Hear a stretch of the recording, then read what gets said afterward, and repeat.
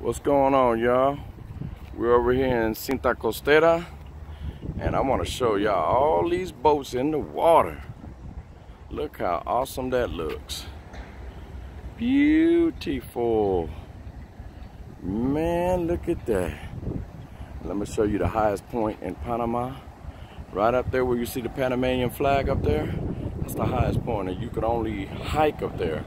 It is illegal to drive any type of vehicle up there now. Now you have to book a tour to hike to get up there. But look at this. Look at all these beautiful boats in this water. Cinta Costera Panama City, Panama. And that's the bridge of the Americas. That bridge right there connects the Pacific with the Atlantic. And it's beautiful.